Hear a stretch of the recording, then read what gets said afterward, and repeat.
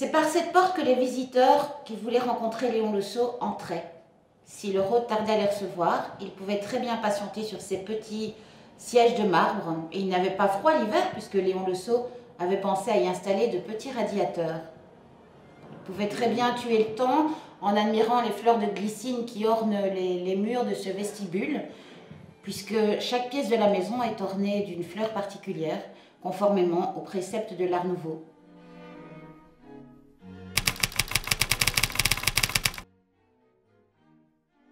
Né en 1862, Paul Saintenoy est un architecte bruxellois de renom. Passionné d'histoire de l'architecture et d'archéologie depuis sa plus tendre enfance, l'homme se positionne comme un fervent défenseur de la conservation de l'architecture des villes d'autrefois, tout en comprenant et promouvant le modernisme de son temps. Il entre en contact avec Léon Losseau dès 1899 et devient peu à peu le maître d'œuvre ainsi que le coordinateur des travaux effectués dans la maison du 37 rue de Nimy, de 1900 à 1914. Le Bruxellois a très vite intéressé Léon Losseau, qui cherchait un architecte assez souple pour s'adapter à sa vision personnelle. Une véritable amitié alliait les deux hommes.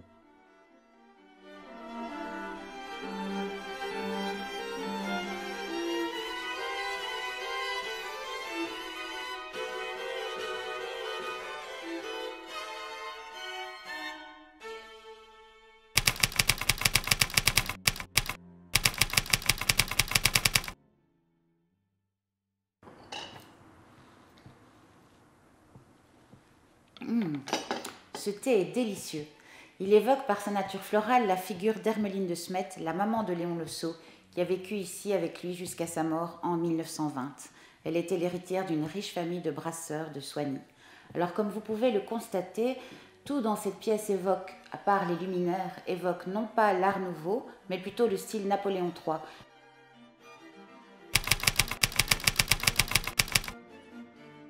Ce style a vu le jour en France sous l'impulsion de Napoléon III et de l'impératrice Eugénie. Il s'étend de 1860 à 1880 environ et connaît un grand succès au sein de la bourgeoisie. Parfois qualifié d'hétéroclite, il emprunte à de multiples styles du passé dans un joyeux melting pot. Accordant beaucoup d'importance à l'ornement, il se caractérise par l'abandon du bois naturel au profit du plaquage et du bois noirci. On y trouve de nombreuses incrustations de nacre et de dorures que le bois noirci sublime. La couronne de laurier, le flambeau romain ou encore la corne d'abondance en sont des motifs récurrents. Et c'est l'une des originalités de cette maison, puisque Léon Le Sceau a tenu à conserver à certaines pièces leur caractère antérieur à sa vaste campagne de rénovation qui s'est étendue de 1899 à 1910.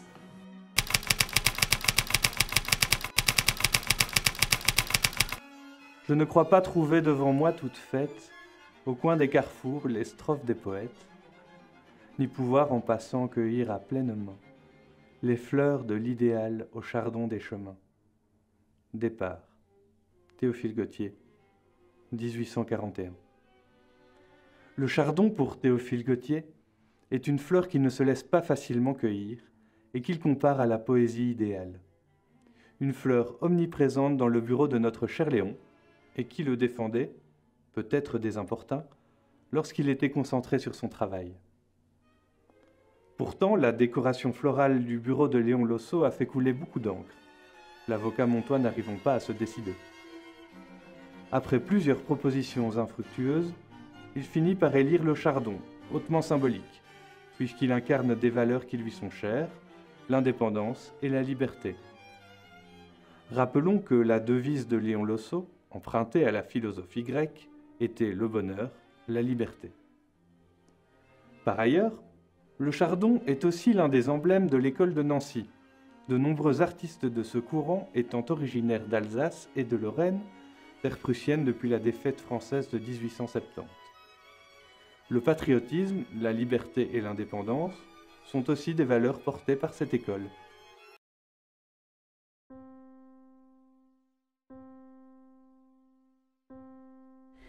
Jadis, si je me souviens bien, ma vie était un festin où s'ouvraient tous les cœurs, où tous les vins coulaient. Un soir, j'ai assis la beauté sur mes genoux. et je l'ai trouvé amer, et je l'ai injurié. Je me suis armée contre la justice, je me suis enfuie. Ô sorcière, ô misère, ô haine, c'est à vous que mon trésor a été confié.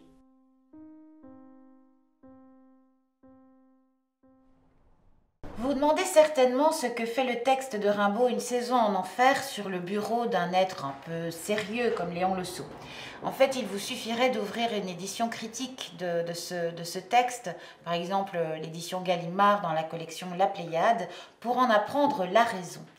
Les héritiers d'Arthur Rimbaud, sa sœur Isabelle et son beau-frère, le dénommé Paterne Berrichon, ça ne s'invente pas, euh, racontaient à qui voulait l'entendre que Rimbaud euh, avait emporté les cinq épreuves d'auteur de l'édition originale d'une saison en enfer, qu'il avait offert à ses amis, en particulier évidemment à Verlaine, et qu'il avait détruit le reste de cette édition originale dans un extraordinaire autodafé très romantique, ce qui participait évidemment à peaufiner euh, la réputation du poète.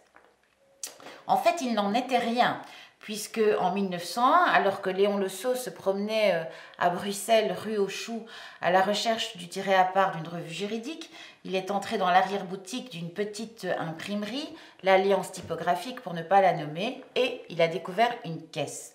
Une caisse qu'il a fait ouvrir, évidemment, curieux comme il était. évidemment, vous l'avez deviné, tous les exemplaires de l'édition originale d'une saison en enfer se trouvaient dans cette caisse, 500 exemplaires en tout, dont une centaine environ avaient été abîmés avec le temps par l'humidité et par la poussière. Alors Léon Le a tout de suite compris l'intérêt de, ce trésor qu'il venait de découvrir et il a acheté euh, toute la caisse euh, pour un, prix dérisoire puisque l'imprimeur ne savait même pas euh, ce, qui, traînait dans son arrière-boutique. Alors qu'est-ce qu'il en a fait de ce, de trésor, Léon Le Eh bien, pendant dix ans, il s'est tu, il s'est interrogé, il a ruminé en se disant est-ce que je vais détruire cette, cette, ces exemplaires? Est-ce que je vais en faire commerce? Et finalement, ce n'est donc que dix ans plus tard qu'il l'a rendu public, euh, en faisant évidemment les gorges chaudes du milieu littéraire européen de l'époque. Et bon, les principaux journaux, d'ailleurs, en font état. Nous les avons conservés euh, ici à la Maison Le Sceau. Et donc, Léon n'a absolument pas fait commerce de cette euh, édition originale. C'est un trait de son caractère aussi, c'est sa générosité. Il en a fait cadeau aux membres euh, de la Société des bibliophiles belges. Il en a fait cadeau à des écrivains qui l'admiraient. On pense que Verhaeren et Materlinck en ont eu un exemplaire. Il en a fait cadeau aussi à son personnel de maison qui vivait ici avec lui, au 37 de la rue Nimy. Donc voilà, c'est un épisode euh, très intéressant de la vie de Léon Losso et qui fait qu'il est connu internationalement par les, par les rimbaldolâtres, par les amateurs de poésie, euh, bien au-delà des frontières de sa petite province du Hainaut. À la fin de la séance que la Société des bibliophiles belges Séan à Mons a tenue chez moi le 24 septembre 1912, j'ai offert à titre de souvenir de la réunion à chacun de mes confrères présents une petite plaquette d'aspect très modeste, en me bornant à dire qu'elle était de grande rareté. Léon Losso.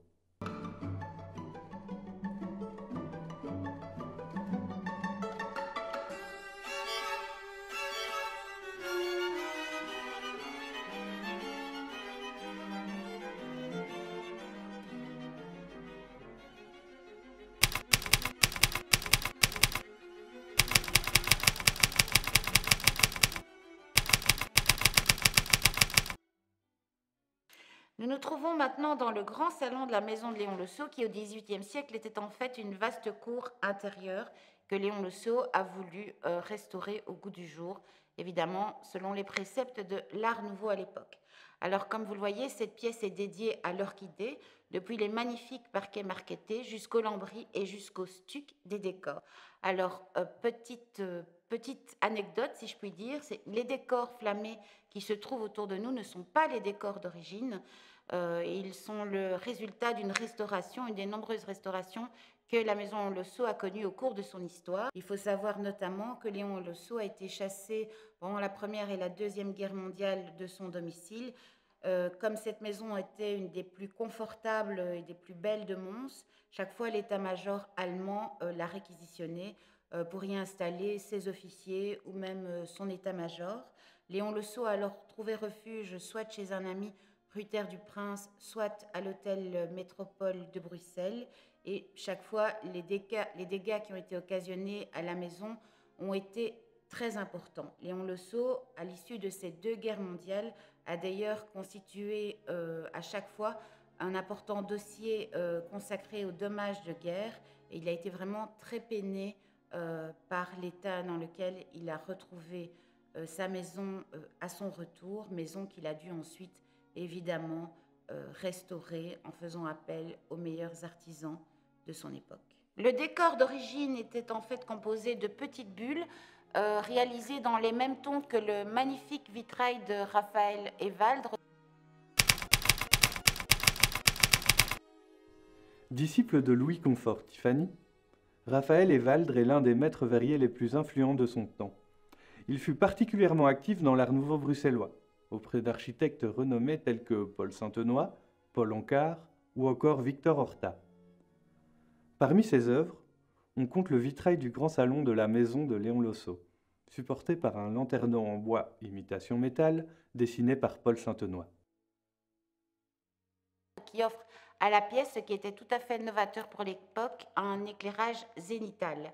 Alors, ce qui est aussi intéressant dans ce, dans ce vitrail, c'est le traitement du bois, de la charpente, de la structure, qui en fait imite le métal et qui est la preuve que le métal avait euh, essaimé dans les maisons particulières et n'était plus un matériau uniquement réservé euh, aux bâtiments industriels et qu'il était un signe de modernité à l'époque. Le vitrail réalisé par Raphaël Evaldre n'est pas le seul élément vitré de la pièce, puisque derrière moi se trouve un autre vitrail réalisé en verre plane, technique tout à fait novatrice de l'époque, par la manufacture Dôme de Nancy et plus particulièrement par le maître verrier Amalric Walter.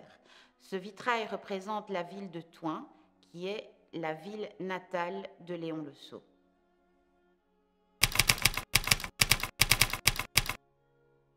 Artiste prodigieux, technicien hors pair, Amalric Walter est l'un des créateurs phares de l'école de Nancy et de la cristallerie Dôme. Il s'est spécialisé dans le traitement de la pâte de verre, technique tout à fait novatrice à l'époque. Le vitrail mosaïque de la maison Losso a été réalisé entre 1911 et 1912.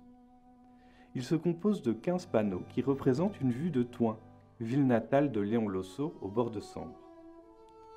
Le tout est intégré au lambris et à l'habillage des murs du grand salon. Le vitrail sert de séparation avec le vestiaire tout en l'éclairant naturellement. Le service des bâtiments de la province de Hainaut l'avait démonté et entreposé bien avant la réouverture de 2015 dans des caissons spécialement construits à cet effet. Ce soin apporté par la province de Hainaut, qui a probablement permis de sauver la verrière, a été salué par l'Institut royal du patrimoine artistique. Pour la réouverture du bâtiment, le travail de l'artisan verrier s'est donc limité à quelques remises en plomb et surtout à de multiples nettoyages du matériau au savon de Marseille, le verre ayant été assombri par la fumée des cigares et des cigarettes.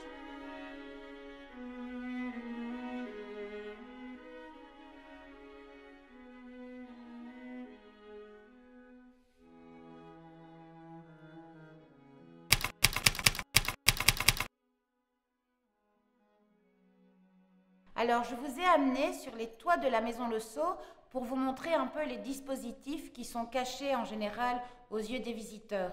Nous vous avons fait découvrir tout à l'heure la magnifique euh, verrière du Grand Salon réalisée par Raphaël Evaldre et vous pouvez voir aujourd'hui le dispositif que la province de Hainaut a conçu pour protéger cette verrière. Il y a en fait énormément d'interventions qui ont dû être réalisées avant la réouverture de la maison Le Sceau en 2015 et dont le public, évidemment, n'a euh, pas connaissance. Je pense, un des, souvenirs peut-être les plus cuisants, les plus douloureux, si je puis dire, que nous ayons eu, c'est euh, l'attaque du bâtiment, de certaines parties du bâtiment par la mérule en raison de l'humidité et d'une longue période de fermeture du bâtiment, ce qui a nécessité évidemment de faire intervenir toute une série de, techniques et de personnes euh, compétentes pour combattre ce, ce fléau. Et heureusement, nous en sommes venus à bout. Plus récemment, nous avons dû restaurer euh, tout le système, toutes les techniques spéciales, et notamment tout le système de chauffage du bâtiment. Alors il faut savoir que dans un bâtiment classé, on a un système de chauffage. Léon Le Sceau avait fait installer un système de chauffage central vapeur avec des radiateurs Art Nouveau absolument magnifiques. Et tout le challenge était de conserver en fait euh, le, matériel euh, du début du XXe siècle tout en permettant de chauffer de manière optimale la maison et à euh, moindre coût. Nous avons donc installé une chaudière au gaz tout en préservant le système qui est visible du public.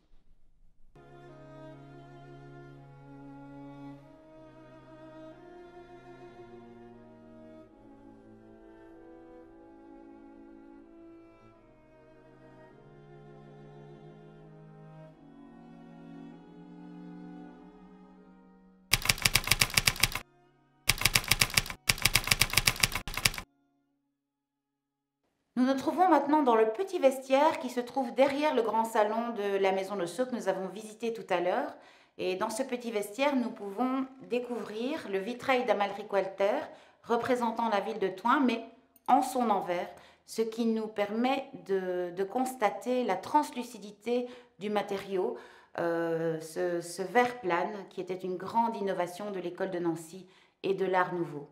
Derrière moi se trouve une petite table art déco dans cette maison art nouveau, euh, très moderne dans sa praticité, puisqu'elle permettait de pouvoir ranger euh, les chaises dessous. C'était une table de jardin en fait, et puis quelques objets personnels. Léon Le avocat, qui n'a pratiquement jamais plaidé, en tout cas qui n'a plaidé que gratuitement pour les indigentes de l'hospice de Mons, mais qui a été toute sa vie extrêmement actif dans la vie intellectuelle du barreau, qu'il a constamment enrichi de ses réflexions, publiant de nombreux articles. Sa maison était d'ailleurs un peu considérée comme la succursale, si je puis dire, du tribunal de Mons, et de nombreux jeunes avocats venaient ici demander conseil à Léon Le ou préparer leur plaidoirie en profitant de sa très grande bibliothèque, puisque comme je l'ai déjà dit, il avait une bibliothèque juridique de plus de 100 000 ouvrages. Derrière moi aussi, une petite ombrelle ayant appartenu à la maman de Léon Sceau, Hermeline de Smet, une canne avec un manche en ivoire ayant appartenu à son papa, et enfin un coffre au nom de son père et de sa mère.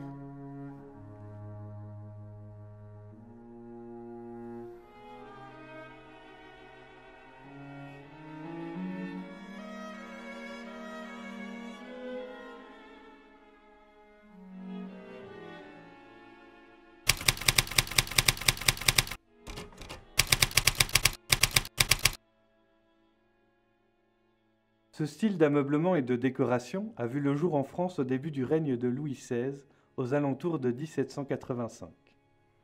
Il s'inscrit dans la renaissance du classicisme en Europe durant la seconde moitié du XVIIIe siècle.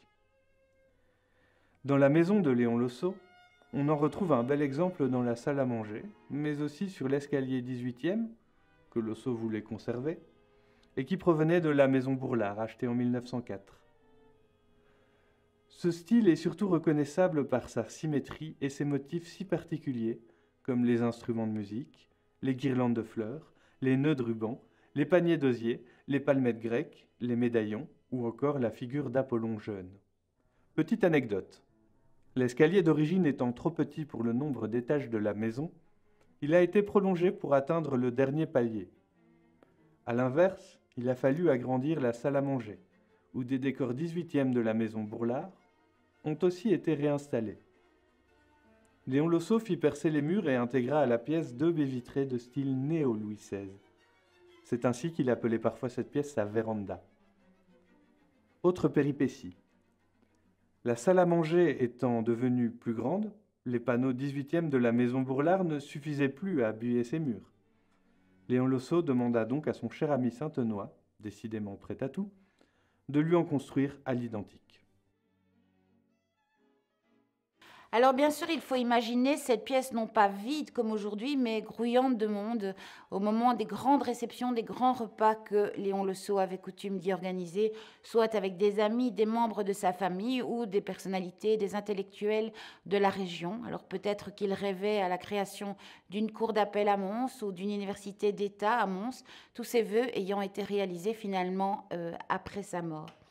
Alors nous avons une idée assez précise de ce que Léon Le Sceau euh, euh, donnait à manger à ses hôtes, du nombre de, convives qu'il recevait, euh, parce que, comme je vous l'ai déjà expliqué, Léon Le Sceau était un fanatique du rangement, du classement, et il a conservé absolument tous ces petits documents personnels qui pouvaient sembler anecdotiques à l'école, à l'époque, pardon, et qui nous sont évidemment très très précieux pour reconstituer euh, la vie d'un grand bourgeois euh, au début euh, du XXe siècle. Nous connaissons euh, la composition de ses menus, le nom des, invités qu'il a reçus, euh, les, honoraires des ouvriers euh, à qui il a demandé de créer une chaise, une table ou d'autres dispositifs pour l'organisation de ces grands repas. Alors on sait qu'il il, adorait servir du gibier à ses, ses hôtes, quand c'était la saison évidemment. Léon Sceau était chasseur, il possédait des terres de chasse du côté de Toin. On sait qu'il euh, aimait le bon vin et qu'il avait du très bon vin dans ses caves très vastes ici, euh, sous la maison Sceau, et qu'il aimait servir euh, du raisin en dessert, raisin qu'il allait cueillir dans la serre qui se trouve au bout de la maison. Juste à côté de cette salle à manger se trouve l'office qui sent encore le bon l'encaustique de l'époque, bien qu'évidemment elle ait été nettoyée, je rassure tout le monde, depuis. Dans cet office, en fait, il ne faut pas confondre office et cuisine. Dans cet office, en fait, se trouvait uniquement la vaisselle qui était servie et desservie au cours euh, du repas euh, par son personnel de maison qui était euh, assez, assez important. La cuisine se trouvait tout à l'autre bout du bâtiment. Alors une chose qui est assez remarquable dans cette pièce, ce sont les petits radiateurs chauffe-plat très pratiques qui permettaient de garder au chaud les plats qu'on avait laissés sur la table.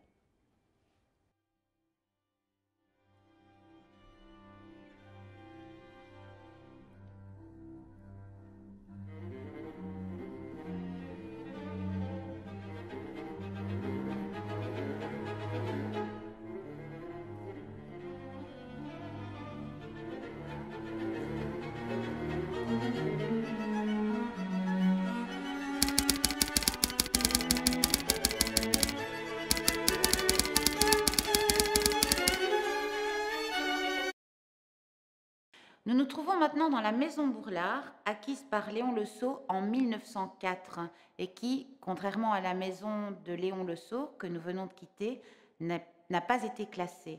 La province de Hainaut, lors des travaux de réhabilitation du site, a consacré cette, cette maison Bourlard à l'installation d'un centre d'interprétation de, la vie de Léon Le de ses passions, de son histoire. Et il y a aussi installé deux euh, salles d'exposition temporaires. À l'étage, nous trouvons aussi un magnifique centre de littérature annuaire, puisque la Maison Le est, depuis fin 2011, le siège du secteur littérature de la province de Hainaut. Alors nous nous trouvons dans la première pièce de ce centre d'interprétation, habillé d'une bibliothèque verte. En effet, les scénographes qui ont travaillé euh, sur le projet ont décidé d'installer euh, des bibliothèques euh, thématiques dans chacune des pièces du centre d'interprétation pour rappeler la passion de Léon Le Sceau pour les livres, puisqu'on sait qu'il possédait une bibliothèque de plus de 100 000 ouvrages. Alors cette bibliothèque verte, elle est consacrée au Léon Sceau intime.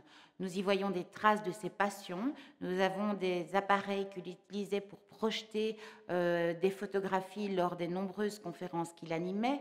Nous avons des objets personnels, des lunettes, des carnets de balles, des cahiers de chromo, sa casquette d'étudiant euh, à l'Athénée royal de Mons.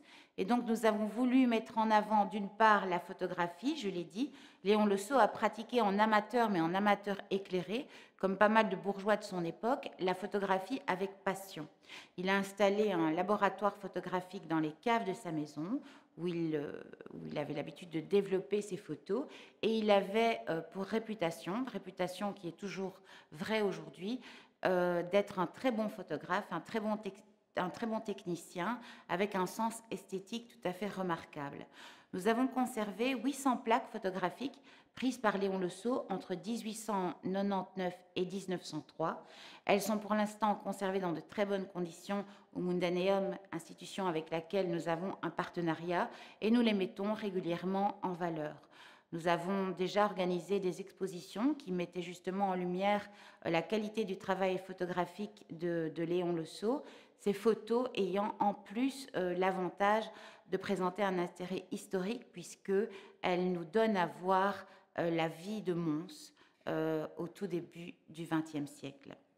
L'autre passion de Léon Le c'est presque une manie, nous l'avons déjà évoqué tout à l'heure, c'est sa passion du classement et par là la classification décimale universelle qui est représentée ici sous la forme de trois panneaux dans la bibliothèque verte du centre d'interprétation. Nous l'avons dit, Léon Le Sceau a été directeur du Mondaneum de 47 à sa mort et a travaillé avec Henri Lafontaine et Paul Hotelet à la création de cette classification universelle et plus, particulièrement aux catégories droit et sciences sociales.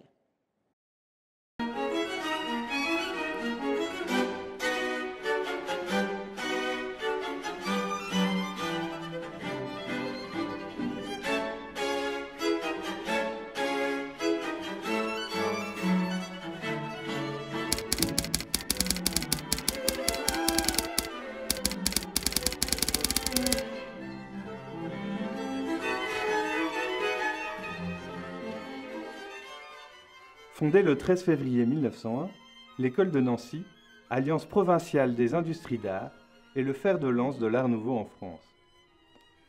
Son appellation officielle souligne l'importance prépondérante accordée à l'industrie et aux matériaux dits industriels, principale spécificité de l'art nouveau nancéen par rapport aux autres mouvements.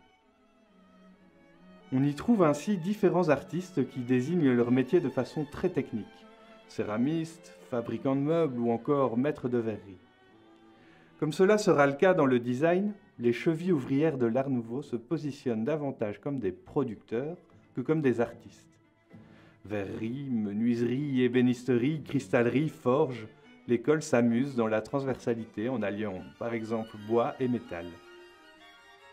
Comme les auteurs sont des patrons d'entreprise, les œuvres peuvent parfois être produites en série on assiste de cette manière à une certaine démocratisation de l'art, désormais plus accessible aux petits bourgeois. C'est aussi un mouvement qui se veut provincial. L'objectif étant de faire en sorte que le beau touche les provinces et plus seulement la capitale culturelle et artistique de l'Europe, Paris. Pour le reste, même si chaque pays européen a développé son propre langage art nouveau, l'école de Nancy s'inscrit bien dans la mouvance générale en privilégiant la transparence, l'importance de la lumière naturelle, l'utilisation de matériaux modernes et, bien sûr, la mise en valeur de la nature via de motifs végétaux.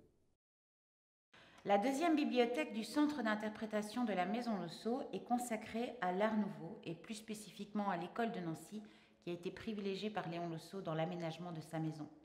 Vous voyez derrière moi des plans d'architectes euh, commandés par Léon Le avant de prendre toute décision pour la réalisation de parquets, de luminaires, de clanches de portes, ou autres décors muraux.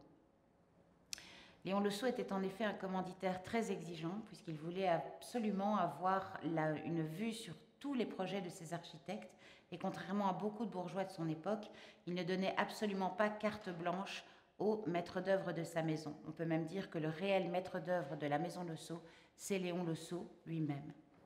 Les plans que vous voyez derrière moi et qui sont régulièrement changés en raison de leur fragilité ne sont que la partie émergée d'un immense iceberg euh, qui font partie des collections de Léon Losso. Nous avons en effet conservé plusieurs tiroirs de ces dessins aquarellés, souvent très beaux, de ces plans bleus d'architectes qui ont constitué toute l'histoire de la maison Losso. D'autres collections sont évidemment ici conservées en nos murs.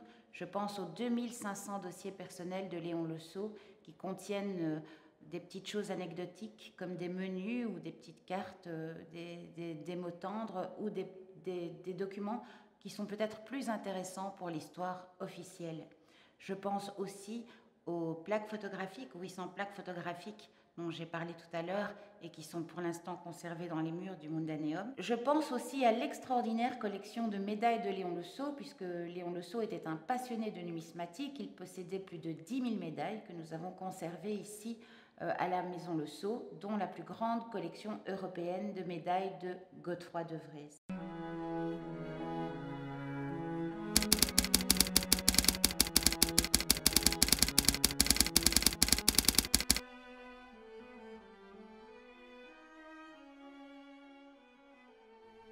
Grand numismate, Léon Losso apprivoise cet univers depuis sa plus tendre enfance.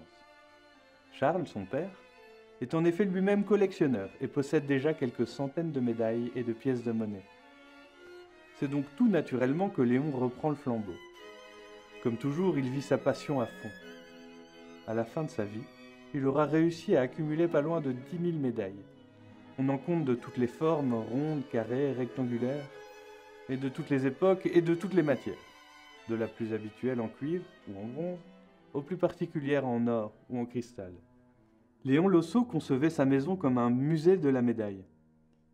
Très tôt, il demanda à des artisans de dessiner des médaillés pour décorer sa maison. Comme il est difficile de présenter l'avers et le revers en même temps, il essayait toujours d'acheter deux exemplaires de la même médaille afin d'en exposer les deux faces. Insomniaque, il passait parfois toute une nuit à clouer lui-même ses médailles dans ses meubles aux grand dames de son personnel de maison qui entendait les coups.